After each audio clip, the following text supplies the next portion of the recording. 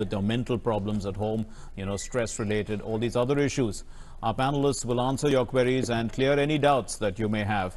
Uh, with me is uh, Jyotika. I'm Mark Lynn. Over to you, Jyotika. शुक्रिया मार्कलिन और doctor speak जहाँ विशेषज्ञ देते हैं आपके हर सवाल का जवाब हमारी टेलीफोन लाइंस अब से एक घंटे के लिए आपके लिए उपलब्ध है हमारे नंबर्स आप नोट कर लीजिए वैसे तो आप जानते ही हैं शून्य एक एक दो तीन तीन आठ सात ज़ीरो तीन और दूसरा नंबर है शून्य एक एक दो तीन ज़ीरो नौ सात छ पाँच पाँच।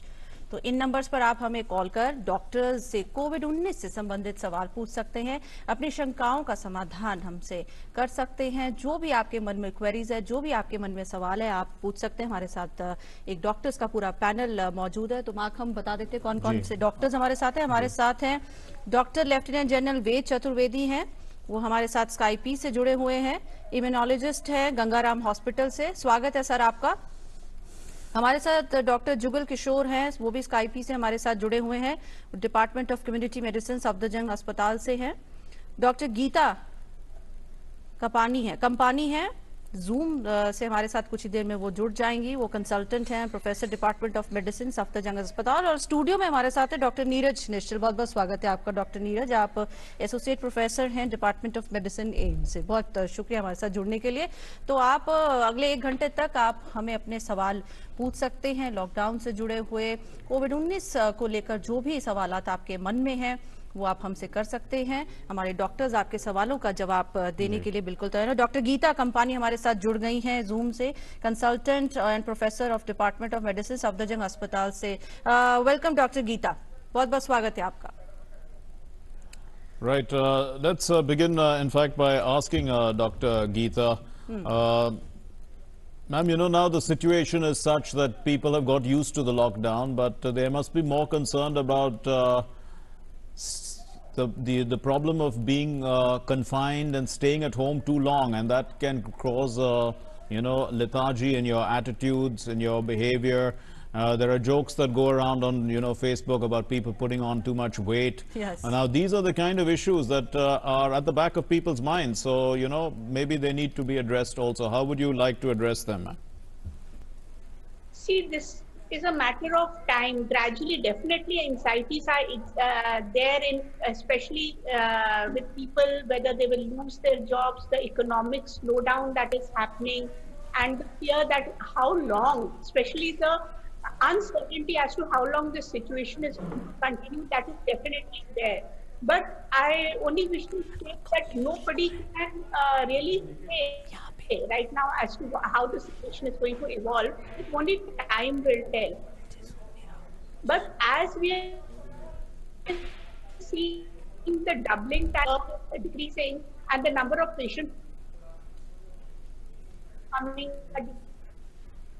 decreasing, the virulence of the virus as far as it that has been and the number of deaths is also less. So I think Uh, we seem to be having a little problem with your line, Dr. Geeta, uh, but uh, you know we'll we'll try and fix that and get back to you. Uh, in the meantime, yes, uh, uh, Jyotika. बिल्कुल हमारे साथ doctor Neeraj निश्चल है studio में उनसे बात करते हैं doctor Neeraj जैसे कि हम डॉक्टर कंपानी से भी बात कर रहे थे इस तरह की जो शंकाएं हैं जब मन में आ जाती हैं जैसे कि मार्क ने कहा बहुत सारे ऐसे जोक्स भी चल रहे हैं हम खुद भी डरते हैं कि आप घर पे खाली बैठे हैं ज़्यादा खा रहे हैं और अपना जब आइडल दिमाग होता है तो ज़ाहिर सी बात है जो स्ट्रेस होता है वो भूख ज़्यादा बढ़ाता है। तो इस तरह की बहुत सारे शंकाएँ हैं जो लोगों के मन में हैं। इनसे कैसे आप बताना चाहेंगे कि कैसे डील किया जा सकता है? हाँ ये काफ़ी कॉमन चीज़ हमने नोटिस किया है कि लोग घर पे बैठे हैं खाली। हैं इतना खाली समय किसी के पास मिलने का कोई ऐसा स्कोप पहले नहीं रहता था। तो आजकल वो ज़्यादा ऑब्सेस्ड हैं कि कितने नंबर ऑफ़ केसेस हुए क्या दिक्कतें आ रही हैं। हम बाहर जाकर एक्सरसाइज नहीं कर पा रहे हैं हम खाना खा रहे हैं ज़्यादा खाना खा रहे हैं जो एक्सरसाइज करना चाहिए वो हम नहीं कर पा रहे। हैं। तो इससे स्ट्रेस का जो माहौल है वो क्रिएट हो चुका है। और जैसे कि हमने लोगों को देखा है कि ऐसे में घबराने और पैनिक करने के बजाय अपने डेली रूटीन को ऐसे मान के चले कि जैसे वो डेली ऑफ़िस जाते हो तो अपने टाइम को ये ना करे कि वो लेट उठे सुबह लेट जगे खाने का टाइम का जो पैटर्न है वो चेंज कर दें। ऐसा करने से अवॉइड करना चाहिए। ये वायरस इतनी जल्दी जाने वाला नहीं है। हमारे लाइफस्टाइल को इसने बहुत ही चेंज किया है और आगे भी चेंज करेगा। जब तक हमारे पास कोई डेफिनेटिव ट्रीटमेंट या वैक्सीन हम डेवलप नहीं कर पाते हैं तब तक ये रूटीन जो है हमें मेंटेन करना पड़ेगा। हमें नहीं पता है हमें घर से काम करना है हमें ऑफ़िस जाना है तो ऑफ़िस में क्या ध्यान रखना है कैसे ध्यान रखना है ये सब चीज़ें समय के साथ ही आ पाएगा। तो मेरा सिर्फ़ यही रिक्वेस्ट रहेगा कि इसको वे ऑफ़ लाइफ लें स्ट्रेस ना लें अपने रूटीन को फिक्स करें। ऐसे नहीं कि घर पे छुट्टी का माहौल बना कर रखें। आप जो रूटीन फॉलो करते थे आज तक वो घर के अंदर ही फॉलो करने की कोशिश करें एक्सरसाइज करने की कोशिश करें। बाहर पार्क में नहीं जा रहे लेकिन घर में एक्सरसाइज कर सकते हैं। बिल्कुल बिल्कुल। आपने कहा घर में एक्सरसाइज कर सकते हैं घर पे शेड्यूल अपना एक फिक्स कर सकते हैं और वो बहुत ज़रूरी है। मुझे लगता है डॉक्टर कुछ लोगों का शेड्यूल ऑलरेडी बना भी हुआ है क्योंकि जैसे घर में बच्चे हैं बुज़ुर्ग हैं कई वर्क फ्रॉम होम कर रहे हैं तो सुबह बच्चों की क्लासेस भी लग रही हैं जो ऑनलाइन क्लासेस एजुकेशन इंस्टीट्यूशन वो करा रहे हैं जो वर्क फ्रॉम होम है उनकी शिफ्ट के अकॉर्डिंगली वो काम भी कर रहे हैं तो उन्होंने अपने रूटीन को ऐसे फिक्स भी किया हुआ है। बहुत से ऐसे लोग भी हैं डॉक्टर जैसे हम सवाल आते हैं और देखते भी रहते हैं ये जो सेल्फ डॉक्टर जो लोग आजकल बन रहे हैं कि अच्छा मुझे ये सिम्टम हो रहे हैं तो अच्छा मैं ये दवाई ले सकता हूँ मैं ये दवाई ले लेता हूँ। तो मुझे लगता है इस तरह के ख्याल भी लोगों में बहुत आ रहे हैं और इन, इनसे कैसे जूझा जा सकता है? अनफॉर्चुनेटली कोविड 19 से पहले भी ये समस्या हमारे सोसाइटी में एग्जिस्ट करती थी। लेकिन अब इसमें थोड़ा ज़्यादा प्रेसिपिटेट हुआ है। अब ये प्रॉब्लम है कि जो दवाइयाँ इजीली अवेलेबल हो जाती है हमारे आ, मार्केट में कोई भी कहीं भी किसी दवाई को एक्सेस कर सकता है जो बाहर के कंट्रीज़ में ऐसा नहीं होता है हम्म। तो ये बहुत ज़रूरी है कि हम जो भी दवाइयाँ लेते हैं स्पेशली जो एंटीबायोटिक्स और बाकी जो ड्रग्स है जो रिस्ट्रिक्टेड हैं अगर वो हम ऐसे बिना प्रिस्क्रिप्शन के लेते हैं तो उससे नुकसान होने के चांसेस ज़्यादा रहते हैं प्लस हम्म। जो भी आप एंटीबायोटिक रेजिस्टेंस और बाकी चीज़ों के बारे में सुनते हैं वो सारा कुछ इन्हीं कारणों से प्रेसिपिटेट होता है हम्म। तो मेरा यही सजेशन होगा कि इस बीमारी के माध्यम से जो भी है एक अवेयरनेस फैलाना चाहिए कि हम्म। बिना प्रिस्क्रिप्शन बिना डॉक्टरी सलाह के सिर्फ़ इंटरनेट या सुनी सुनाई बातों से दवाइयाँ लेना घातक हो सकती हैं और इसे अवॉइड करना चाहिए। बिल्कुल। Doctor lieutenant general Ved Chaturvedi के पास चलते हैं, वो भी हमारे साथ जुड़े हुए हैं। डॉक्टर वेद, हम बात कर रहे हैं कि जो सेल्फ मेडिकेशन का जो एक चलन देश में हमारे पहले से ही बहुत फ़ेमस रहा है और कोविड 19 के दौरान तो ये ज़्यादा बढ़ गया इस पे आप क्या कहना चाहेंगे? कुछ लोग ये भी मानते हैं कि वाइटामिन सी की गोलियाँ खा ली जाएँ या ये कर लिया जाए तो इम्यूनिटी स्ट्रांग हो जाएगी। तो जो सेल्फ मेडिकेशन का ये जो चलन चल रहा है इस पर आप कैसे रोशनी डालेंगे? कैसे लोगों को समझाएँगे? Thanks uh, Jyotika. देखिए ये uh, हमारे जो सेल्फ मेडिकेशन का जैसे डॉक्टर साहब ने भी बताया कि हमारे यहाँ पहले से ही कुछ कर, कुछ कारणों से हमारे यहाँ एक सिस्टम है कि आदमी अपने मन से दवाई लेता है। और एक अनयूजल टाइम भी है जो जैसा कहता है कोई हम्म। बोलता है कि भाई ये होम्योपैथिक दवाई ले लो कोई बोलता है कि ये दवाई ले लो। बट यदि आप एक्सपर्ट्स की सलाह लेंगे तो आपको हमेशा फ़ायदा रहेगा। हमें हमेशा मालूम है देखिए मैं एक इम्यूनोलॉजिस्ट हूँ रूमेटोलॉजिस्ट हूँ।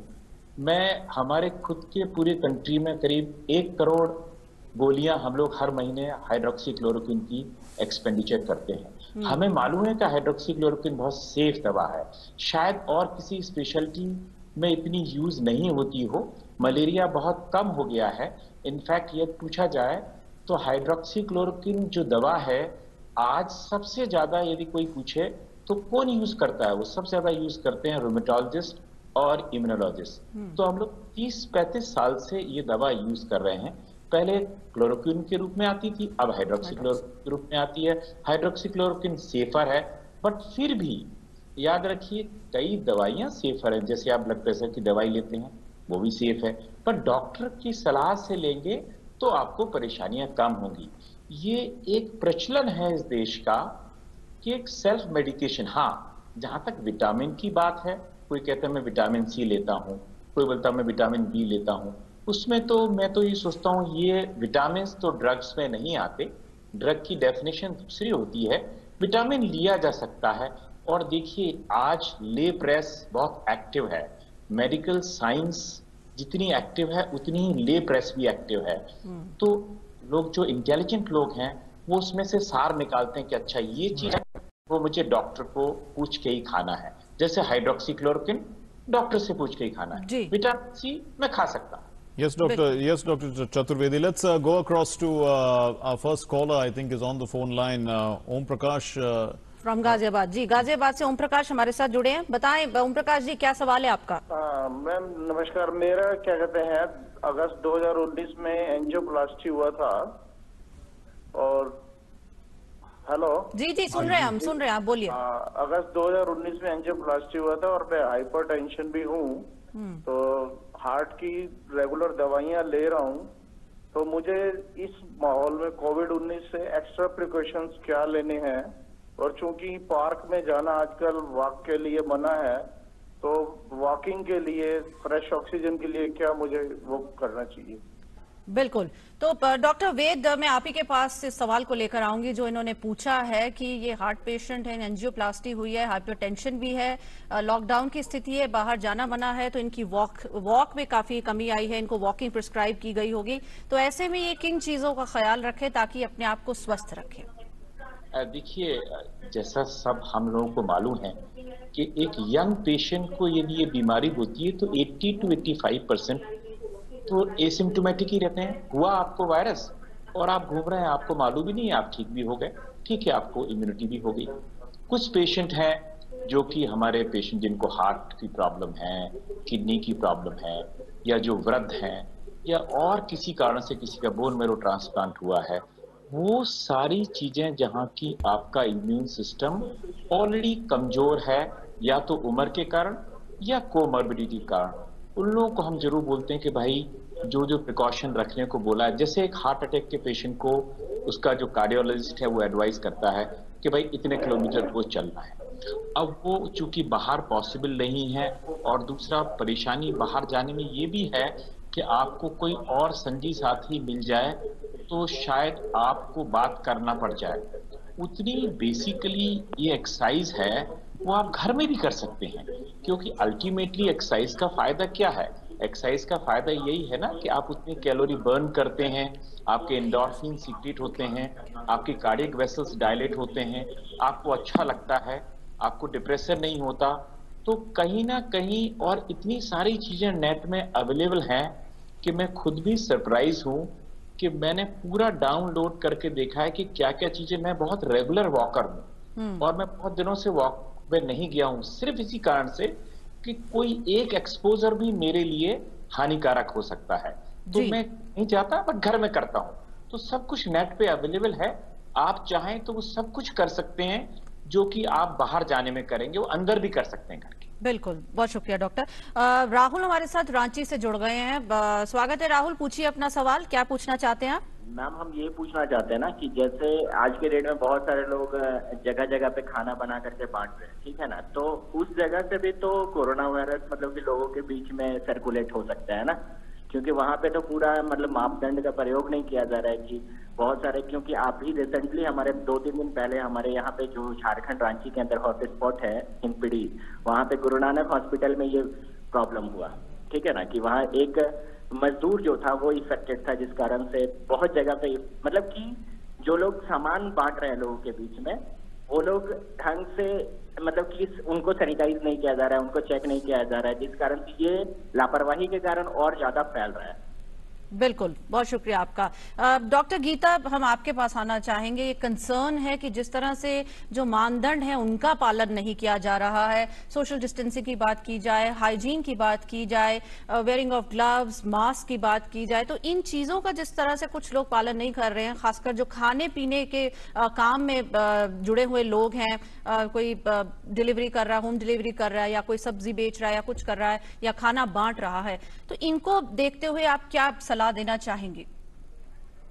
It is very very important that these norms of social distancing wearing of mask wearing of gloves by anyone who is handling food जो भी खाने को हैंडल कर रहा है, वो ग्लव्स डाले मास्क डालना सोशल डिस्टेंसिंग जो कि जब आप किसी से बात करते हैं या किसी तो आप मास्क डालें और छह फीट का डिस्टेंस मेंटेन करें।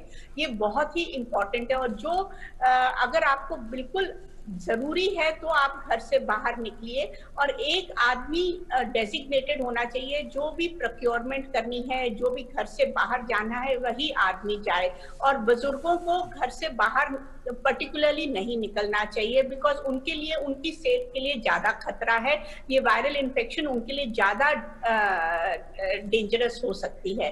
सो so, ये नॉर्म्स तो बहुत ज़रूरी है और लोगों का कोऑपरेट करना गवर्नमेंट के साथ बहुत ज़रूरी है नहीं तो ये वायरल इन्फेक्शन फैलेगी क्योंकि ये इन्फेक्शन हवा के ज़रिए एक दूसरे जो इन्फेक्टेड इंडिविजुअल होता है जब वो बहुत नज़दीक से किसी से दूसरे से बात करता है तो ये इन्फेक्शन फैलती है। और ये बहुत तेज़ी से फैलती है तो ये नॉर्म्स का करना बहुत ही ज़रूरी है। बिल्कुल, डॉक्टर गीता, बहुत महत्वपूर्ण बात है कि जो भी मानदंड है, उनको फॉलो करना बहुत ज़रूरी है। बिना किसी काम के आप घर से ना निकलें और अपने मास्क पहने ग्लव्स पहने और अपने हाथों को समय समय पर धोते रहें। 20 सेकंड तक, जैसे कि हम बार बार आपसे सबसे अपील ये कर रहे हैं और सभी कर रहे हैं। तो अगर हम इन मानदंडों को फॉलो नहीं करेंगे, नहीं मानेंगे तो ज़ाहिर है हम उस चेन को नहीं तोड़ पाएँगे, जिस चेन की वजह से इस बीमारी को फैलने में और ज़्यादा मदद मिलती है। हमारे साथ एक और कॉलर जुड़ गए हैं उनसे बात करते हैं। जी स्वागत है आपका। बताएँ क्या सवाल है आपका? मैम मैं ये जानना चाहता हूँ मैं छाछठ साल का हूँ और मैं पहले पार्क में टहलने जाता था। जब से लॉकडाउन हो गया है तब से मैं सब मैम घर के छत पे ऊपर टहलता हूँ। हम्म। तो हवाएँ तेज चलती हैं क्या उस हवाओं से कोई कोरोना वायरस आ सकता है सब मैम? क्या टहलना उस छत पे सुरक्षित है? बिल्कुल। बहुत शुक्रिया श्याम बाबू जी लखनऊ से आपके सवाल के लिए। डॉक्टर नीरज आपके पास आना चाहूँगी इस सवाल के साथ। देखिए ऐसा जो है आउटसाइड हॉस्पिटल ऐसे हवा में कोरोना वायरस फैलने का कोई इंफॉर्मेशन नहीं है, ऐसा कोई स्टडी प्रूवन नहीं है। छत पे आप जब वॉक पे जाते हैं, क्या आपके कॉलोनी के या आपके बिल्डिंग के क्या और लोग वहाँ पे रहते हैं, नहीं रहते हैं? ये एक इंपॉर्टेंट फैक्टर है। अगर ऐसे ज़्यादा लोग हैं तो डेफिनेटली आपको डिस्टेंस इसीलिए डिस्टेंस मेंटेन करने के लिए हम इसीलिए कहते हैं, क्योंकि वायरस हवा में ज़्यादा दूर तक नहीं जा सकता है। और इसका रेंज मैक्सिमम हम मान के चलते एक मीटर के आगे जाने के चांसेस इसके नहीं के बराबर रहते हैं कंट्रोल इन्वायरमेंट में ऐसे माहौल में। इसलिए हवा के थ्रू आपको ये इन्फेक्शन छत पे जाने से हो जाएगा ऐसा मेरा मानना नहीं है कि ऐसा नहीं होना चाहिए। अगर आप एडिक्वेट सोशल डिस्टेंसिंग और बाकी चीज़ें मेंटेन करके रखते हैं तो। बिल्कुल। मेरे ख्याल से doctor doctor Nishchit there are some questions that are coming in also on Facebook so let me ask a of these questions. Uh, one question has already been answered about oxygen. How do you get oxygen? The other question is, uh, how do we detect this fa fast detection of the virus? There's an article apparently that claims IIT Roorkee has developed X-ray scanning. Can the virus be detected through X-ray scanning? So again, uh, all I will request that a lot of uh, information is there on internet and uh, media, but uh, these all are experimental things. So just uh, reading something and that is turned into a practicality is not always possible. So there are numerous uh, technique which are being tried to uh, expedite the uh, diagnosis of this disease, but at the moment we have uh, RT-PCR test, which is the yes. Uh, the standard may, way of diagnosing this disease. Apart from that, we don't have at the moment any technique which can expedite this particular diagnosis of this disease. So a lot of information is there. All I will say uh, do not take everything on face value because uh, right. from practical to theory, it's, it's really difficult to uh, interpret everything. Uh, Dr. Ved Prakash, uh, I'll ask you the next question is, after the initial success of plasma therapy, has it been tested on many people? What do you think is the future of this and what's the success rate? thanks, Marlin. I think very pertinent question because we are searching in, in any and in, in any pandemic since nothing works and no big trials are available whether if you ask me in a scientific forum as an immunologist tell me one good study on any other drug whether it is hydroxychloroquine or it is antiviral drugs or azithromycin not, no, not a single drug or a, not a single modality has been tried, has a good trial, which okay. we call it as a good trial. Now, plasma therapy, coming to specific question of plasma therapy, look, India as a country, not many countries are there which has a very good blood banking system. India has a wide network of blood banking system thanks to our age-old, about more than 150 years uh, medical education okay. in this country. So okay. we are very good in making plasma.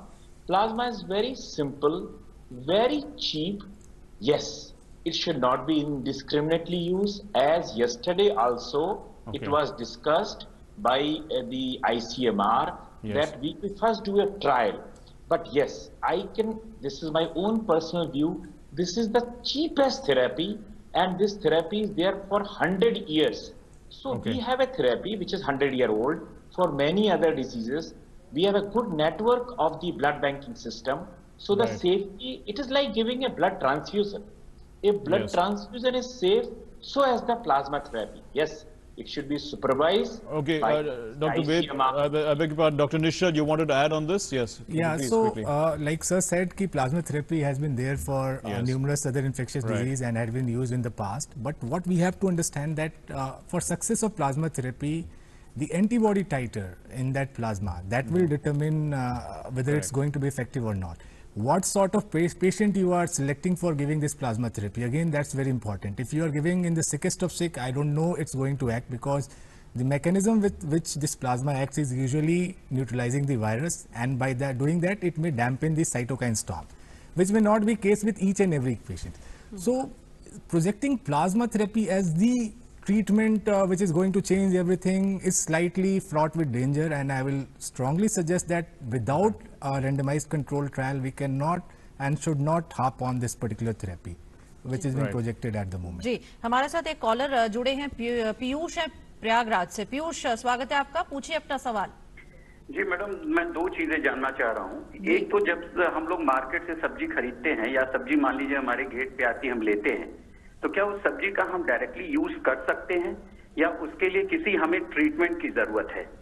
एक चीज़। दूसरी चीज़ जो हम medicine market से खरीद के लेके आ रहे हैं लाइफ सेविंग ड्रग्स के रूप में या बीपी की जिसकी भी क्या उस पर भी हमें कोई ट्रीटमेंट करने की ज़रूरत है?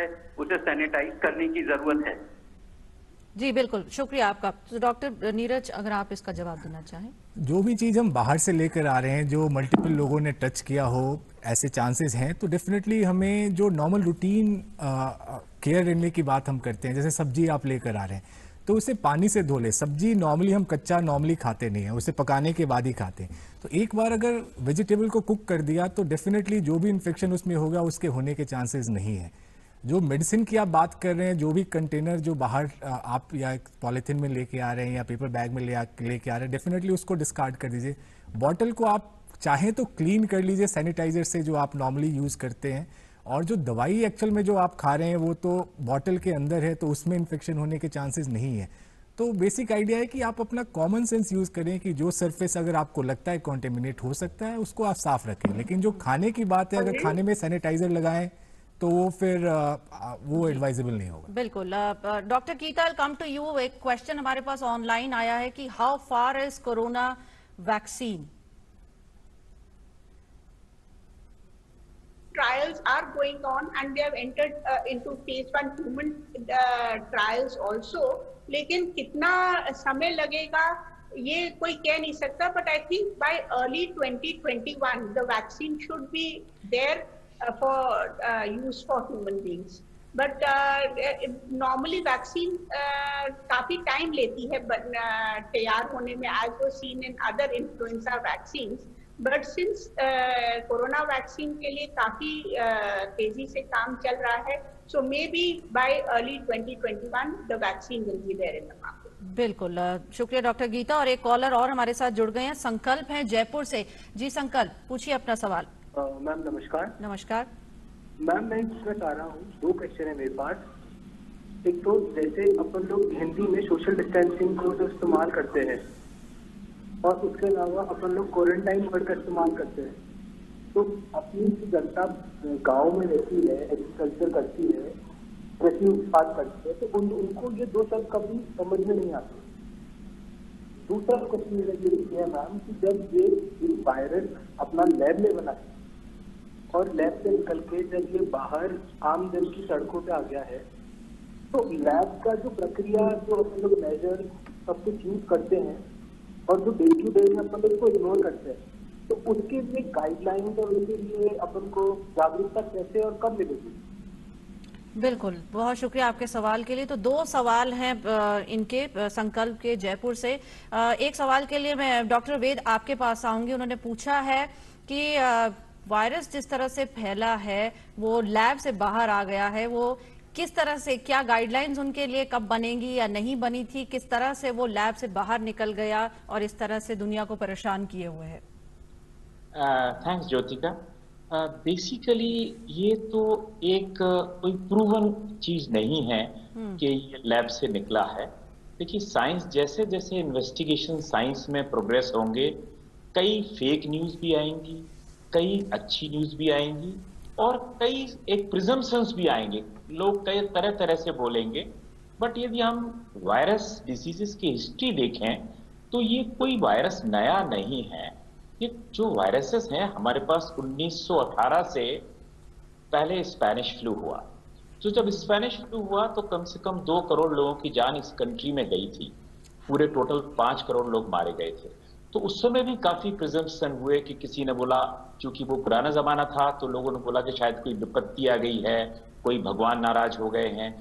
अब अब चूँकि चूँकि साइंटिफिक युग है और वो युग है पावर पावर बैलेंस का तो कई लोग समझते हैं कि शायद किसी लैब हो भी सकता है सही हो। Only the future investigation will decide whether it is a de novo as on today there is no hard fact that it has been released from the lab आज के दिन में ये कह सकते हैं कि 90 परसेंट हम लोग श्योर हैं कि ये लैब से कहीं निकला नहीं है। बेसिकली ये जूनोटेक बीमारी है जो एक जानवरों में होती थी और फिर एक इंटरमीडिएट होस्ट से फिर एक ह्यूमन बींग में आ गई है और ये चलन पिछले दिनों से जारी है। इसका कारण क्यों हमें क्यों ऐसा बार बार ये वायरसेस क्यों अटैक कर रहे हैं? देखिए इसके पहले कोई कहते सार्क वायरस जी। मार्क वायरस तो ये सब वायरसेस जो आ रहे हैं ये वायरस क्यों इंपॉर्टेंट है? और दूसरे वायरसेस से कि इसकी इन्फेक्टिविटी रेट इतनी ज़्यादा है जैसे वो कहते हैं ना आपको एक न्यूक्लियर बम डाल दिया हो शहर में। आप कोई न्यूक्लियर रेडिएशन दिखता नहीं है। ये जनता के लिए समझना बहुत ज़रूरी है कि जिस चीज़ की कोई दवाई नहीं है इसीलिए ये self quarantine lockout Lakshman rekha ये सब बात हो रही है। हम लोग सक्सेसफुल भी इसीलिए हुए हैं कि गवर्नमेंट ने एक बहुत सही टाइम पे और बहुत ही स्ट्रिक्ट और सेंटिमेंट्स की यदि मैं बात करूँ तो खुद प्रधानमंत्री ने इसको बोला है लक्ष्मण रेखा। और इतना सब कुछ सबको मालूम है कि ये एक हार्श स्टेप है बट ये हमको लेना ही पड़ेगा। और यदि आज ये बीमारी नहीं फैल रही है उसका सिंगल कारण दवाइयाँ नहीं है। हमारे पास तो कोई दवाई है ही नहीं। जैसे डॉक्टर साहब से बात हो रही थी अभी कि भाई कोई ट्रायल नहीं है। किसी दवा का कोई ट्रायल नहीं है। हाँ ये ज़रूर हम सबको मालूम है कि कोई छूत की बीमारी हो तो छूत से बचना है। उसी के लिए पूरी चीज़ें एक्साइज गवर्नमेंट भी आपका सहयोग चाहती है। हम सबका सहयोग होगा जनता का, तभी इस महामारी से हम लड़ सकते बिल्कुल। डॉक्टर वैद मुझे लगता है आपने संकल्प का दूसरे सवाल का जवाब भी दे दिया है कि कोई कहीं भी रह रहा हो फिर चाहे वो गाँव में रह रहा हो शहर में रह रहा हो रूरल है अर्बन है हर किसी को जो भी मानदंड है उनका पालन सख्ती से करना है। बहुत ज़रूरी है कि इस चेन को तोड़ा जाए जब तक ये चेन नहीं टूटेगी हाथ हम बार बार नहीं दोगे इस वायरस से हम नहीं बच सकते। अगला कॉलर हमारे साथ है। Dr. Geeta, Yes. uh, Geeta Kampani a question that's coming from uh, this is a question, ma'am, in which uh, people are concerned in Delhi about, uh, you know, the number of cases rising and they are concerned now about uh, purchasing things from the markets and they want to know whether you should keep things for 14 days, quarantine the things as well, you know. so if you have eatables, not only, not the perishable ones, but the ones that can last a little longer, uh, keep them for 14 days before you start eating them. No, absolutely not. I think there is some kind of an obsession also associated with this virus. The virus does stay on things and on surfaces, and it depends on the type of surface. So it can, up, depending on the type of surface, it can remain for up to nine days maximum. So uh, as far as eatables are concerned, as has been said earlier, you have to bring them from the market, wash them well, preferably cook them, or otherwise, if they are fruits, prefer to eat fruits which can be peeled and uh, जो कर खाए जा सकते हैं so and vegetables should be washed if you are very particular you can wash them in a little bit of meetha soda put in the water and let them be in water for some time then dry them and put them in the refrigerator and preferably eat them cooked rather than raw. And Okay. as far as uh, surfaces or other things are concerned, if there are certain knobs which are being touched by multiple individuals, you can sanitize those, the gate handle of the gate or the knobs of doors. But otherwise, uh, there is no need to quarantine anything for 14 days. If the maximum the virus can persist on the surface of any object is nine days. So uh, Okay. uh, don't think like that at all. It is not that uh, even medicine, the medicine is inside a foil. How can the virus reach inside the Ji. medicine? So there, I don't think, I think uh, some things are बिल्कुल doctor Geeta company very well said and thank you very much for joining with us and giving your very valuable inputs on covid 19 thank you so much for joining with us हमारे साथ अगली collar हैं, परमजीत हैं पटियाला से। जी, परमजीत जी, स्वागत है। पूछिए अपना सवाल। जी हाँ जी शुक्रिया मैम और सभी को मेरा नमस्कार। नमस्कार। अ, मैं ये डॉक्टर साहब से पूछना चाहती हूँ कि ये जो कोविड नाइन्टीन है जब इससे कोई इफेक्टेड हो जाता है कोरोना वायरस से तो उसका हॉस्पिटल में जैसे कि उसकी वैक्सीन तो अभी तक नहीं आई कोई मेडिसिन नहीं है तो उसका पेशेंट का क्या ट्रीटमेंट किया जाता है और उससे कितना खर्चा आता है? और दूसरा मेरा सवाल ये है कि जैसे इतने प्रिकॉशंस बताए जा रहे हैं, वो हम लोग जो एजुकेटेड है, जिनके पास पैसा, वो सभी कर सकते हैं। लेकिन हमारा कंट्री ऐसा जिसमें बहुत से इतने अनपढ़ और गरीब लोग हैं, जो कि झोंपड़ी में रहने वाले हैं, वो क्या करेंगे इसमें ना? कि उनको क्या करना चाहिए? उसको, उनको कोई इतना अवेयर करने के कोई सोर्सेज भी नहीं है। उसके बारे में पूछना चाहती हूँ। थैंक यू सो मच बिल्कुल परमजीत जी बहुत बहुत शुक्रिया आपका इस महत्वपूर्ण सवाल के लिए। डॉक्टर नीरज आपके पास आते हैं। बड़ा वाजिब सा सवाल परमजीत ने मुझे लगता है पूछा है। जहाँ तक ट्रीटमेंट की बात है कि हम पिछले दो महीने से शायद यही बता रहे हैं कि इसका कोई डेफिनेटिव इलाज नहीं होता है। जो भी हम ट्रीटमेंट करते हैं वो पेशेंट के सिम्टम पर डिपेंड करता है कि किस सिम्टम के साथ पेशेंट आए पेशेंट को अगर बुखार है तो बुखार की दवाई देंगे। वॉमिटिंग टेंडेंसी है, एसिडिटी जैसी फीलिंग हो रही है तो उसके अनुसार उसके लिए दवाई देंगे। डिपेंडिंग उनको सांस लेने में दिक्कत है तो ऑक्सीजन की ज़रूरत पड़ सकती है। जो बहुत ज़्यादा बीमार हो जाते हैं, जो खुद से सांस लेने में दिक्कत आती है तो उन्हें वेंटिलेटर पर रखने की ज़रूरत पड़ती है। तो बेसिकली डिपेंडिंग ऑन कि पेशेंट का क्या सिम्टम है, उसके अनुसार हम ट्रीटमेंट टेलर करते हैं और उसके अनुसार ट्रीटमेंट देते हैं। और जहाँ तक कॉस्ट की बात है तो जो भी गवर्नमेंट सेटअप्स जितने भी हैं वहाँ पे free of cost covid 19 patients का इलाज हो रहा है तो वहाँ पे कोई खर्चे का कोई मतलब नहीं है सारे टेस्ट फ्री होते हैं। और जहाँ तक जो झोपड़ी में रहने वाले जो गरीब लोग हैं जो अनपढ़ लोग हैं उनको कैसे उनमें ये अवेयरनेस फैलाएँ या फिर उनमें ये इस बीमारी को कैसे कंट्रोल करें तो यहाँ पे कम्युनिटी पार्टिसिपेशन की बहुत ज़्यादा ज़रूरत है। उनकी मदद करनी की हमें ज़रूरत है। हमें पता है कि उनके घरों में इतनी जगह नहीं होती है कि वो सोशल डिस्टेंसिंग और बाकी चीज़ों का मानदंड फॉलो कर पाए। लेकिन फिर भी हमें उन्हें इनकरेज करने की कोशिश करनी चाहिए कि भाई, जो भी पॉसिबल हो एटलीस्ट घर के लोग, घर के अंदर ही रहें अगल बगल वालों से न मिले, ताकि एटलीस्ट अगर कोई ऐसी दिक्कत आती है तो एक घर तक ही कंटेन रहे, rather देन कि पूरे उस एरिया में फैल जाए। तो इसलिए ये बेसिक चीज़ें आप गरीब अनपढ़ होने के बाद भी फॉलो कर सकते हैं। ऐसा इसमें साक्षरता या आपका रिच और पुअर होने से कोई फ़र्क नहीं पड़ता। ये आपके बिहेवियर डिसाइड करेगा कि आप इसको कैसे कंट्रोल करना चाहेंगे। बिल्कुल एक सकारात्मक सोच के साथ अगर हम इस लड़ाई को लड़ेंगे तो ज़ाहिर है बहुत जल्द हम इस लड़ाई पर जीत हासिल कर लेंगे। डॉक्टर वेद आपके पास आना चाहेंगे? एक ऑनलाइन क्वेश्चन हमारे पास आया है। वो पूछना चाहूँगी कि एक हमारे साथी पूछना चाह रहे हैं कि स्कूल जब खुलेंगे कोविड 19 के बाद तो क्या प्रिकॉशंस लेनी होंगी बच्चों को लेकर? जिनकी इम्यूनिटी कम भी होती है, क्योंकि ऐसे में कहा जा रहा है कि बच्चों को और बुज़ुर्गों को खास ध्यान रखना होगा।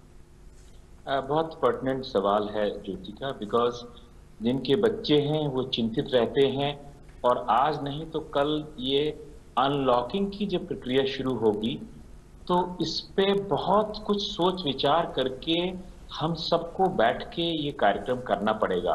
देखिए, बहुत से बच्चों को वैक्सीनेशन ड्यू है वो वैक्सीनेशन के ऊपर सवाल आएँगे। पेरेंट्स पूछेंगे वैक्सीनेशन लेना है कि वैक्सीनेशन नहीं लेना है? जो टीचर है, वो अलग सवाल करेगी कि ये किस क्लास में साठ लोग बच्चे बैठते हैं तो क्या इन साठ बच्चों को अलग अलग डिवाइड किया जाए? ये सब सवाल आएँगे। जो कॉमन सेंस की हम चर्चा कर रहे हैं पिछले 20-30 मिनट से, वही सब इस्तेमाल हमको भी करना पड़ेगा। ये बात ज़रूर है। कि हमको जब हम लोग कभी कभी जापान या कहीं जाया करते थे तो हम देखते थे कि उनके कल्चर में है कि वो लोग मास्क पहनते हैं। बिल्कुल। तो ये कैसे कल्चर में आया हमें नहीं मालूम बट ये बात ज़रूर है कि बुद्ध और जैन धर्म का एक बहुत बड़ा नाता है। जो भी इसकी हिस्ट्री रही हो जब मास्क की बात है तो एक हमें अपने बच्चों के लिए एक फ़ैशन में लाना पड़ेगा मास्क जो कि बहुत कंफर्टेबल मास्क हो पहली चीज़। थोड़े कलरफुल मास्क हो और ये कंट्री बड़ी इनोवेटिव है। कई लोग बहुत सोच सोच समझ के ये बनाया जा सकता है जो मास्क बहुत कंफर्टेबल हो। एक तो मास्क का यूज़ हमको एक्सटेंसिवली सिखाना पड़ेगा टीचर्स को भी और बच्चों को भी और जो स्टाफ जो इसको डील कर रहा है। जैसे अभी बात हो रही थी कभी कभी कि हमें इसमें ज़्यादा पैसा नहीं लगता, पर इसमें थोड़ी अकल लगती है। जैसे पहले एक जमाने में हम लोग सर्जिकल मास्क के पीछे घुमा करते थे। तो मैंने उस दिन आ, अपने जावड़ेकर साहब को देखा कि वो मास्क कैसे बनाते हैं घर में। तो मेरा मतलब है कि इसमें है कि मास्क घर में बनाया जा सकता है और मास्क का यूज़ अच्छी तरह सिखाया जा सकता है और मास्क कितने दिन तक पहनना है और उसको कब धोना है घर में आके और उसको कब यूज़ करना है हम कई और चीज़ें भी तो यूज़ करते हैं, अपने अंडर गारमेंट से ऐसा ही हमें मास्क को अपने जीवन में लाना दूसरा चीज़ इज़ दी साबुन। ना साबुन सस्ता है सैनिटाइजर से। देखिए सैनिटाइजर 70 परसेंट अल्कोहल कोई बहुत बड़ी महँगी चीज़ नहीं है बट जिस चीज़ का कमर्शलाइजेशन होता है, वो महँगी होती चली जाती है। यदि यदि कोई कंपनी या हम इसको सैनिटाइजेशन इश्यू को सैनिटाइजर इशू को एक ऐसा करें कि एक बहुत बड़ी गवर्नमेंट की कंपनी कोई सैनिटाइजर्स बनाने लगे। 70 परसेंट अल्कोहल चाहिए। हमें कोई और बहुत चीज़ें नहीं चाहिए। और वो सब चीप सप्लाई स्कूल को की जा सकती है। एंड स्कूल बच्चों को इशू कर सकता है। और जहाँ जहाँ वो कंटेक्ट्स हैं, वहाँ रखे जा सकते हैं। कल मैं एक व्हाट्सएप में देख रहा था कि किसी इंडियन ने ही यूके में शायद एक चीज़ बनाई है कि हम कैसे दरवाजे खोलते हैं, कैसे वो करते हैं। तो ये छोटी छोटी प्रक्रिया हम अपने बच्चों को भी सिखा सकते हैं। So basically it will be a health education if you educate your child educate your teacher and gradually पूरे समाज की एजुकेशन होगी। ज्योति का मैं तो यही कह सकता हूँ। बिल्कुल आपने सही कहा वाजिब जवाब। रेखा हमारे साथ जुड़ी हैं गोवा से। आ, रेखा पूछिए अपना सवाल। Good afternoon madam good afternoon doctor good afternoon yes Rekha please ask your question हाँ। कि आज तक हम कोविड नाइन्टीन के प्राइमरी सिम्टम्स के बारे में ज़्यादा डिस्कस करते हैं जैसे कि ड्राई कफ है फीवर है या शॉर्टनेस ऑफ़ ब्रीदिंग है। तो मैं ये जानना चाहती हूँ कि ये जब सीवियर स्टेज में चला जाता है तो एग्जैक्टली क्या होता है इन ह्यूमन बॉडी और वो सीवियर स्टेज में पेशेंट का क्या ट्रीटमेंट होता है? और अगर डेथ भी होती है तो डेथ का कारण क्या है? इज़ मल्टीपल ऑर्गन फेलियर और ये जानना जी शुक्रिया आपके सवाल के लिए। और हमारे साथ डॉक्टर जुगल किशोर भी जुड़ गए हैं department of community medicine Safdarjung अस्पताल से। स्वागत है डॉक्टर किशोर आपका। आप ही से ये सवाल पूछती हूँ। एक कॉलर हमारे साथ जुड़ी हैं गोवा से। वो जानना चाह रही हैं कि जो सिम्टम्स होते हैं कोविड 19 के जैसे ड्राई कफ है फीवर है आ, सांस लेने में तकलीफ़ है तो जब कोई कोरोना पॉजिटिव हो जाता है तो ये ये जो सिम्टम्स हैं, ये और बढ़ जाते हैं या क्या सिम्टम्स होते हैं, जब सिवियर हो जाता है, ये वो जानना चाह रही हैं। या ये बहुत अच्छा क्वेश्चन है कि सिर्फ़ हम यही सिंपल सिम्टम्स बताते हैं कि ये अगर हो तो आप डॉक्टर के पास जाएँ। उसके बाद में अगर जो भी उसको सांस की तकलीफ़ होगी और उसको सांस में जितना तकलीफ़ बढ़ती जाएगी, वो इंडिकेट करता है कि उसको कितना लंग इन्वॉल्व है। उसका जो चेस्ट में लंग्स है, वो कितने इन्वॉल्व हो गए और उसमें फीवर बहुत तेज होता है, सांस में बहुत तकलीफ़ होती है और उसको, क्योंकि रेस्पिरेशन में फ़र्क है ऑक्सीजन ऑक्सीडेशन ठीक से नहीं हो पाता तो उसकी वजह से वो बहुत हाइपोक्सिक फील करता है टॉक्सिक सिम्टम्स उसको आ जाते हैं। इसके अलावा उसको और भी परेशानियाँ हो सकती हैं, जैसे कि अगर ऑक्सीजन पूरे शरीर में ना जाए तो bluish coloration discoloration of face और बॉडी भी हो जाता है। उन्होंने एक क्वेश्चन और पूछा कि डेथ का कारण क्या है तो नमोनिया ही सबसे मेजर इशू होता है। लेकिन अगर उसको साथ में एक दिल की बीमारी है या किडनी की प्रॉब्लम है तो वो भी उसमें इफ़ेक्ट हो जाती है। और डेथ उन्हीं लोगों में ज़्यादा पाई गई जिनमें सेकेंडरी या कोमॉर्बिड कंडीशन है। तो सारा multi failure multi organ failure उसमें हो सकता है। लेकिन अगर किसी को और दूसरी बीमारियाँ नहीं है तो मेन कारण मर, अ, किसी व्यक्ति के मरने का नमोनिया ही होता है जी डॉक्टर Right. जुगल आपने मुझे लगता है दूसरा सवाल का Yes, जवाब भी दे दिया true, रेखा जी but- तो but, जानना uh, चाह रही that- थी Uh, Dr. Kishore, uh, one more question is that, you know, we have so many asymptomatic cases. Now, uh, these asymptomatic cases, uh, are they just the early symptoms of the case so they don't feel it? Or, you know, over a period of time, will they start feeling the symptoms? Uh, how do we define, define whether he's asympt- the person is asymptomatic or the early stages of symptoms? ये भी बहुत अच्छा question है sir asymptomatic का मतलब है कि जब हमारे बॉडी के अंदर वायरस ग्रो करना शुरू करता है और उसकी एक लेवल जब बॉडी के अंदर हो जाती है मतलब कि नंबर ऑफ़ वायरसेस बढ़ जाते हैं तब वो अपियर होता है कि उसको अगर हम टेस्ट करें तो वो पॉजिटिव हो सकता है। लेकिन शायद साइन सिम्टम ना हो। तो उस पीरियड में उसको लेटेंट पीरियड कहते हैं और जब साइन सिम्टम शुरू होते हैं तो इंक्यूबेशन पीरियड कहते हैं। तो asymptomatic person is having viruses and it can start showing in the you know samples like we which we are taking the throat samples तो फ़र्क यही है कि उसको माइनर या माइल्ड साइन सिम्टम भी नहीं होंगे। मेजरली जब उसको साइन सिम्टम शुरू होते हैं तब ही हम उसको एक सिम्टोमेटिक केस कहते हैं। लेकिन पॉजिटिविटी एसिम्टोमेटिक में मिली है वो शो करती है कि ये ऐसे व्यक्ति एसिम्टोमेटिक भी पॉजिटिव हो जाते हैं। तो that shows level of viruses in the body which is able to be detected by the you know our sam- uh, testing. जी अ, हमारे साथ एक कॉलर जुड़े हैं रुद्रांग है रायपुर से। जी स्वागत है आपका पूछिए। हेलो जी बताएँ आपकी आवाज़ आ रही है आप अपना सवाल कीजिए। जी जी नमस्कार सर। सर मेरे दो सवाल हैं। एक तो ये कि जैसा कि अभी हम ये सुन रहे हैं कि कुछ लोगों पे सिम्टम्स भी नहीं दिख रहे हैं।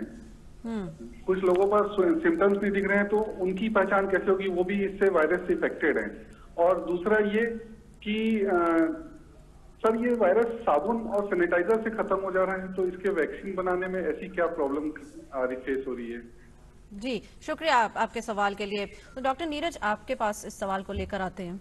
हाँ तो जो ये पहला क्वेश्चन है कि अगर कोई एसिम्टोमेटिक है तो उसे कैसे पहचाने? तो अगर एसिम्टोमेटिक को पहचानना वैसे अगर देखा जाए तो पॉसिबल नहीं होगा अनलेस कि आपको पता है कि वो किसी पेशेंट से कांटेक्ट में था या ऐसे किसी हॉटस्पॉट से।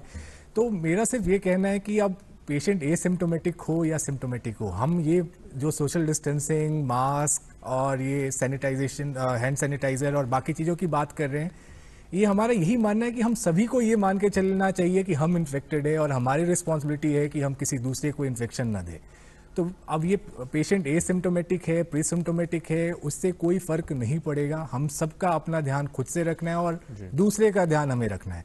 तो आई थिंक इसमें पढ़ने की ज़रूरत नहीं है कि उसको कैसे पहचाने। ऐसा कोई तरीका नहीं है बिना टेस्ट किए कि हम उसको कह पाए कि भाई ये तो आ, इसको कोरोना वायरस इन्फेक्शन हो सकता है। जी। दूसरा सवाल उन्होंने कहा था कि जब हम साबुन इस्तेमाल कर रहे हैं हैंड वॉश इस्तेमाल कर रहे हैं तो क्यों नहीं इसकी वैक्सीन भी ढूंढ ली जाए जब हमें पता है कि ये साबुन और सैनिटाइजर से मर जाता है वायरस नहीं तो अभी ट्रंप ने कुछ कहा था कि आप आ, उसको पिला दीजिए या उसको इंजेक्ट कर दीजिए तो वायरस शरीर के अंदर और बाहर दोनों में फ़र्क है। जी शरीर के अंदर जो वायरस है, उसके पास मशीनरी है डिवाइड करने की। आप जो भी दवाई देते हैं, अगर वायरस को अफेक्ट कर रहा है तो काफ़ी हाई चांसेज है कि आपके शरीर के सेल्स को भी अफेक्ट कर सकता है। तो ये इतना सिंपल नहीं है कि हम सैनिटाइजर से बाहर मार सकते हैं तो अंदर मारना आसान हो जाएगा। तो ये हमें समझने की ज़रूरत है कि वायरस को शरीर के बाहर मारना आसान काम है। शरीर के अंदर अगर आप मारने की कोशिश करेंगे तो आपको आपके शरीर पे क्या इफ़ेक्ट आएगा, उसको ध्यान में रखना पड़ता है। इसलिए वैक्सीन बनाने में या दवाई बनाने में हमें समय लगता है।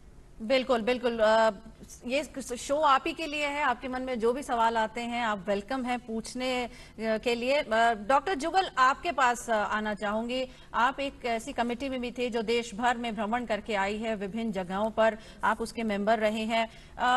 आपसे जानना चाहेंगे इस वक्त जो ताज़ा हालात हैं क्या चैलेंजेस हम हैं जो फेस कर रहे हैं? जैसे हमें एक सवाल भी आया था कि ग्रामीण इलाकों में लोग अभी भी सोशल डिस्टेंसिंग और हैंड सैनिटाइजेशन को उतनी अच्छे तरीके से नहीं समझ पा रहे हैं। तो आपने क्या आंकलन किया? What challenges we are facing ये बहुत ही अच्छा क्वेश्चन आपने पूछा। आ, लोगों को लगता है जो ग्रामीण क्षेत्रों में है या फिर जो पहले हमारे आ, ऐसे एमपी या महाराष्ट्र या फिर और दूसरे स्टेट हैं, उनको लगता था कि ये बीमारी सिर्फ़ दिल्ली की है या फिर ऐसे इलाकों की है जहाँ पर इंटरनेशनल ट्रेवल नहीं आए, वहाँ पर नहीं होगी। लेकिन इसकी जो पैथोलॉजी है, वो ट्रांसमिशन जो समझ में आता है, वो वन टू वन है। जैसे ही आप ऐसे लोगों के संपर्क में आएँगे जो इन्फेक्टेड हैं, आपको भी होगा। तो हमारे लोग शहरों से गाँव की तरफ़ गए ये था कि शायद उनको, उनके साथ में हमारा वायरस भी गया और वायरस फिर वो आहिस्ता आहिस्ता जो हमारे कमर्शियल सिटीज़ हैं उसमें फैलना शुरू हुआ और अब वो गाँव की तरफ़ को रुक कर रहा है। तो इसलिए हर व्यक्ति को अपने अपने ऊपर ध्यान देने की ज़रूरत है। यही हमने देखा कि लोगों को अभी भी लगता है कि ये हमारे को नहीं होगा। ये बहुत ही एक एक तरह की जो मिथ है वो खराब है कि मेरे को नहीं होने वाला या मुझे नहीं होगा। ये अच्छी बात है कि 97 परसेंट चांसेस हैं कि आप रिकवर कर जाएँ और सिम्टोमेटिक नंबर इसमें ज़्यादा है, लेकिन इसमें डेथ भी है। तो उसको ध्यान में रखते हुए हमें इस पे ध्यान देना होगा कि क्या अच्छा मेरा तो एज बहुत अच्छी है तो शायद हो सकता है कि मेरे को इतने साइन सिम्टम ना हो, लेकिन अगर मेरे माँ पिताजी या मेरे दादा इनकी एज ऐसी है कि जिसको ज़्यादा इन्फेक्शन होकर उसको क्रिटिकल बनाने का चांसेस है तो उसमें डेथ भी होगी। सो so, अगर वो तीन या चार परसेंट डेथ भी है तो वो बहुत ज़्यादा है। अगर हम नेशनल लेवल पे इसको देखें तो लाखों में आती है। तो उसको बचाने के लिए या कम करने के लिए हम सबको सहयोग देने की ज़रूरत है। तो अभी हमने ये देखा कि जो आ, हमारा एडमिनिस्ट्रेशन इतनी तैयारियाँ कर रहा है या कोशिश कर रहा है उसमें हमारे जो लोग हैं या कम्युनिटी है, उसका पार्टिसिपेशन बहुत कम है। लॉकडाउन अगर हम देखें तो लोगों ने अच्छे से पालन नहीं किया। हर जगह देखा कि वो तोड़ रहे हैं और फिर बहुत सख्ती से उस पर पालन करने की ज़रूरत पड़ी तो वो आपने बहुत देखा होगा। तो जब तक कम्युनिटी अपनी रिस्पॉन्सिबिलिटी नहीं समझेगी तो हमने देखा कि बहुत मुश्किल है एडमिनिस्ट्रेशन को पूरा लागू करना। और इसीलिए ऐसे ऐसे जगह पर ये मिल रहा है जहाँ पर बहुत मुश्किल है वहाँ पर लॉकडाउन का असर दिखाना, जब तक कि वो खुद ना समझे कि भाई ये इन्फेक्शन हमारे को भी हो सकता है या हम किसी दूसरे के लिए मौत का ज़रिया बन सकते हैं। बिल्कुल डॉक्टर जुगल आपने बहुत महत्वपूर्ण बात की। हम सबको ये ध्यान रखना होगा कि हम अपने घर पर रहकर हम सबकी मदद कर रहे हैं और उन लोगों की भी मदद कर रहे हैं जो ज़रूरी सेवाओं में जुटे हुए हैं दिन रात ड्यूटी कर रहे हैं दिन रात काम कर रहे हैं। हमारे साथ एक और कॉलर हैं धीरेन्द्र हैं दिल्ली से। जी धीरेन्द्र पूछिए आपका हाँ। सवाल स्वागत है। नमस्ते जी। जी नमस्ते। हाँ मैं ये जानना चाहता हूँ मेरी मोहतरमा जो है एस की पेशेंट है और पिछले दस सालों से अच्छी क्योर्स ले रही हैं ऑलरेडी तो ऐसे में क्या उनको कोविड में एक स्पेशल एडवांटेज अवेलेबल है या नहीं है उसका? जी शुक्रिया डॉक्टर नीरज आपके पास। नंबर दो। जी। दूसरा क्वेश्चन भी है। जी बताएँ। पूछिए। दूसरा मेरा पॉइंट ये है कि अब उन्हें सुबह अगर घूमने जाना हो और धीरेन्द्र जी पहले आपको अपनी टीवी की वॉल्यूम धीमे हाँ, करनी होगी लो करनी होगी तब आप अपना हाँ सवाल कीजिए। हाँ जी। हाँ जी मेरा दूसरा क्वेश्चन ये है कि उन्हें सुबह सैर पे जाने में जिसमें सोशल डिस्टेंसिंग मेंटेन रहती है तो कोई परेशानी है? या नहीं जाना चाहिए बिल्कुल ही जी शुक्रिया। यस डॉक्टर नीरज आपके पास तो मैं दूसरे क्वेश्चन से शुरू करूँगा क्योंकि आपको पता है आपके जो वाइफ हैं ऑलरेडी एस की पेशेंट्स हैं पेशेंट हम्म। हैं ऑलरेडी उन्हें कोमॉर्बिडिटी एक तरह से कह सकते हैं। तो अभी घर से बाहर न निकलना ही उनके लिए बेहतर है। मुझे नहीं पता कि उस वॉक से उनको कितना फ़ायदा होगा अभी। लेकिन अगर उन्होंने इन्फेक्शन पकड़ा तो डेफिनेटली उनके लिए प्रॉब्लम होगी। जहाँ तक हाइड्रोक्सिक्लोरोक्विन का एडवांटेज आपके वाइफ में है या नहीं, ये कहना अभी बहुत मुश्किल है। जैसा हम हमेशा कहते रहे हैं कि अभी तक हमारे पास कोई रेंडमाइज कंट्रोल ट्रायल नहीं है कि जिससे हम इसका एडवांटेज है या नहीं है, फ़ायदा हो रहा है या नहीं हो रहा है, हम बता पाएँ। तो इस गलत फहमी में आप नहीं रहिएगा कि आपकी वाइफ ऑलरेडी हाइड्रोक्सीक्लोरोक्विन ले रहे हैं, इसलिए ये इम्यून है इस बीमारी से और आराम से वो बाहर वॉक पे जा सकती हैं। तो मेरा एडवाइस यही होगा कि उन्हें कहें कि जो भी एक्सरसाइज करना है फिलहाल घर के अंदर करें ऐसा कोई चांस ना ले Dr. Ved uh, Chaturvedi, uh, this question uh, I'll ask you. Uh, uh, person asks a pointed question. My father is 75 years old, has weak immunity. He's scheduled to visit uh, an eye doctor for a follow-up retinal detachment surgery. Uh, the follow-up on that that happened some time ago. Uh, is it safe to visit the hospital and at this stage, or should we delay? What extra precautions should be taken? Uh, thanks. Uh, what I understand that uh, he wants to know कि मेरे father की इनल detachment हुआ था जी। और follow up के लिए मैं due हूँ और मुझे जाना चाहिए कि नहीं जाना। बिल्कुल बिल्कुल। बेसिकली बहुत एक क्वेश्चन सब पेशेंट मुझसे पूछते हैं। देखिए अभी पहले इसके पहले क्वेश्चन आ रहा था कि एसएलई के बारे में मैं रूमेटोलॉजिस्ट हूँ। हम लोग एसएलई के पेशेंट्स हमसे रोज ही ये क्वेश्चन पूछते हैं, क्या हॉस्पिटल जाना सेफ़ है? The crux of the issue is कि आज पेशेंट भी डरता है कि मैं हॉस्पिटल जाऊँ कि नहीं जाऊँ।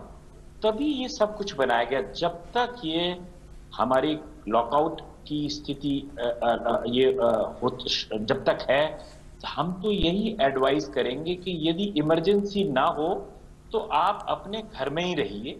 टेली मेडिसिन की गाइडलाइंस गवर्नमेंट ऑफ़ इंडिया में आई हैं। कल हमारे एक बहुत बड़ा सेमिनार था हम रूमेटोलॉजिस्ट के बीच में कि टेली मेडिसिन की, कि जिस चीज़ का इलाज आज घर बैठ के हो सकता है, उसके लिए आप अस्पताल कम से कम जाएँ।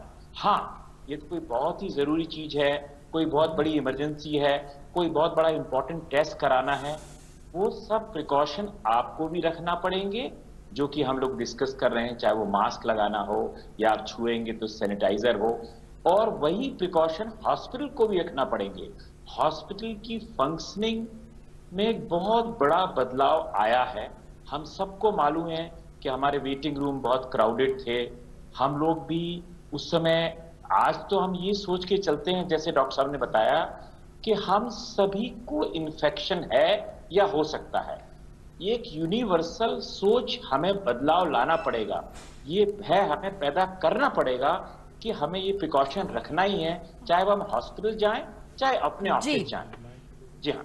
जी बहुत शुक्रिया। धर्मेंद्र हमारे साथ अजमेर से जुड़े हैं। धर्मेंद्र स्वागत है। पूछिए अपना सवाल। हाँ गुड आफ्टरनून एवरीबॉडी मैं ये पूछना चाहता हूँ फ़र्स्ट की इसमें कोविड में फ़र्स्ट फीलिंग क्या होती है पेशेंट्स को? और दूसरा क्वेश्चन मेरा ये है कि डायबिटिक पेशेंट्स को किस तरह की प्रिकॉशंस रखनी चाहिए? जी तो डॉक्टर जुगल आपके पास आएँगे इनके सवाल के साथ कि कोविड 19 के पेशेंट को जो वो होती हैं सिम्टम्स होते हैं क्या होते हैं ये हम लगातार डिस्कस कर भी रहे हैं और उन्होंने ये भी पूछा है कि जो डायलिसिस पे जो पेशेंट्स हैं उनको क्या प्रिकॉशंस लेनी चाहिए? डायबिटिक डायबिटीज़ डायबिटीज़ डायबिटीज़ के पेशेंट को क्योंकि वो ऑलरेडी यू नो उनका इम्यून इतना अच्छा नहीं होता। इसलिए उनको कोमॉर्बिड कंडीशन कह सकते हैं तो डेफिनेटली उनको risk of infection of covid is quite high sign in symptom उनको यही होंगे जो अभी तक पता चला है। अ, अगर आप सुन रहे हैं तो इसमें जो टेस्ट uh, है हमारा और सूंघने की जो क्षमता है वो दो दिन पहले खराब हो जाती है। फिर उसको खांसी होती है और वो ड्राई कफ होता है, उसमें बलगम इतना नहीं आता और फीवर उसको होगा। और फिर ये ऐसा ऐसा बढ़ के उसको सांस की तकलीफ़ शुरू होती है। तो ये ऐसे सिम्टम है। इसके अलावा बॉडी में दर्द होना और अनइजीनेस होना या फिर उसको पेट में दर्द हो सकता है लूज मोशंस हो सकते हैं। ये कई तरह के ऐसे हैं जो उसको हो सकते हैं।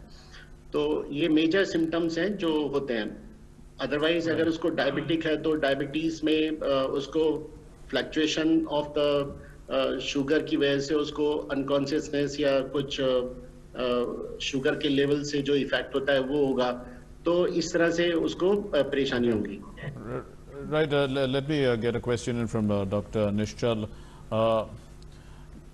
You know, the there are patients who have reco- who have recovered and they feel that they have got immunity. But uh, is that really true? I mean, uh, the cases there are some people are getting relapses now, and there's a sign that the immunity doesn't last very long. So, I mean, is this a virus that is like the common cold? It can come any time, and it is much more dangerous. So this is what we have been saying that uh, this is like any uh, common cold virus, but only difference is that immunity is not there in any of us. So it's a new Okay. virus. That's why we don't have immunity. So we have uh, But limited even if data. you've got, even if you're healed, Yeah. you don't have So yeah, that's what I'm saying. Ki, uh, this is a new uh, virus. The data is still coming. So whether uh, it's uh, reinfection, relapse, uh, because the Yeah. testing capacity is again uh, very limited. It depends on the viral load. So sometimes it happens that at that particular time viral load was less and the test was negative. But this may again become positive after some time Whether whatever test we are doing, is it picking up live virus or is it just a dead virus and uh, Ji. material we are picking? So it's it's still a controversial thing, and but of course, uh, precaution is always uh, better, Better than, than uh, cure. cure. Yeah. So एक हमारे साथ collar जुड़ गए हैं doctor अ, कोमल तिवारी हैं जालंधर से जी कोमल जी पूछिए सवाल हाँ जी गुड आफ्टरनून डॉक्टर अ, मेरा क्वेश्चन ये है कि हम अ, कोरोना वायरस से जो स्पेशली फूड है जैसे फ्रूट्स एंड वेजिटेबल्स हैं उसके अगेंस्ट कैसे हम प्रोटेक्ट कर सकते हैं? उनको कैसे सैनिटाइज कर सकते हैं? जी डॉक्टर वेद आपके पास आना चाहूँगी। हर महिला का ये सवाल होता है कि भाई फल सब्ज़ियाँ या खाने पीने की जो चीज़ें हैं वो जब घर में आती हैं उन्हें कैसे सैनिटाइज किया जाए? मुझे लगता है ये मेरा भी सवाल होगा क्योंकि उसमें हम कहीं ना कहीं अ, फेल हो जाते हैं कि उनको कैसे सैनिटाइज करें या फिर भूल भी जाते हैं या फिर थोड़ी सी लापरवाही भी हो जाती है। थैंक्स ज्योतिका जी एक्चुअली ये अभी मेरी मेरी डॉटर फ़ोन कर रही थी मुझे कि पापा इसको कैसे साफ़ करें सब्ज़ी को? बिल्कुल। आप साबुन से साफ़ करें। तो ये एक आम क्वेश्चन है और इसका जवाब भी बहुत ही कॉमन सेंस वाला ही है। हम्म। इसमें कोई एक बहुत बड़ी साइंस की ज़रूरत नहीं है। सिर्फ़ एक ही साइंस हमें ज़रूर आ, आ, एक ज्ञान हमें मालूम होना चाहिए कि एक तो ये साबुन से बहुत हल्के कंटेक्ट से वायरस मर सकता है और दूसरा है सैनिटाइजर से। और तीसरा सब्जियों को के लिए थोड़ा गर्म पानी या थोड़ा खाने का सोडा या वेनेगर ये तरह तरह की बातें होती हैं। बट यदि साइंस पूछा जाए तो साइंस ये कहती है कि यदि आप एक सब्ज़ी लाते हैं तो आप हाथ में तो नहीं लाते आप तो थैले में लाते हैं। तो आप उस थैले को पहले रख दीजिए। सपोज़ लीजिए ये सोच के रखिए कि उसमें वायरस है। तो क्या होगा वो? उस सरफेस पे अधिक से अधिक 24 घंटे या बहत्तर घंटे में वो खत्म हो जाएगा। सो पहला प्रिकॉशन तो ये रखिए कि थोड़े दिन के लिए एक आध दिन के लिए सब्ज़ी को रख दीजिए। दैट इज़ नंबर वन दूसरा ये है कि जिस पैकेट में वो आ रहा है जो थैला है या कुछ है उसको एक तो डिस्कार्ड करना है। तो हम्म। ये आपको लगता है कि यदि ये प्लास्टिक का थैला है उसको आप डिस्कार्ड कर दीजिए। ना जहाँ तक सब्ज़ी की बात है तो एक तो गर्म पानी से उसको धोना है। दूसरा है कि खाने का सोडा थोड़ा डाल सकते हैं वाइनेगर से उसको कर सकते हैं और there is no harm even कि यदि हम उसको अच्छी तरह से बहुत बड़े गर्म पानी में उसको साफ़ कर सकें। और अपने हाथ का प्रिकॉशन जहाँ तक है वो सोप से करना है और सैनिटाइजर से करना जी। तो कोई भी हो चाहे वो सब्ज़ी हो हम्म। चाहे कोई और चीज़ें हैं ये कॉमन सेंस चीज़ें यूज़ करना है। हाँ ये ज़रूर है कि आप सब्ज़ी में तो सैनिटाइजर नहीं डाल सकते। आपको लगता है भाई सैनिटाइजर हो सकती है। तो ये सब चीज़ों का ध्यान रखना ठीक है। Doctor Ved Chaturvedi doctor Jugal Kishore doctor Neeraj Nishchal हमारे साथ स्टूडियो में और डॉक्टर गीता कंपानी भी हमारे साथ जुड़ी थी। आप सब डॉक्टर्स का बहुत बहुत शुक्रिया। आपने हमारे साथ अपना समय बांटा और बहुत ही वैल्यूबल जो एडवाइस है वो हमारे दर्शकों को दी है। और आप सब भी अपना ख्याल रखें क्योंकि आप सब फ्रंट वॉरियर्स हैं। और ढेर सारी शुभकामनाएँ। आपको बहुत बहुत शुक्रिया। तो मार्क आज के शो में बस इतना ही। Yes. Thanks very much for joining in and do keep calling us between 2 and 3 o'clock with all your queries every day on Doctors Speak. Namaskar. Namaskar.